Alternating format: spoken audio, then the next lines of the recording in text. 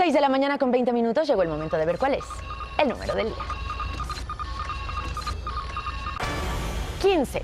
Porque 15% de los estudiantes de educación media, imagínense qué grave, media superior en México, desertó durante el ciclo escolar 2015-2016.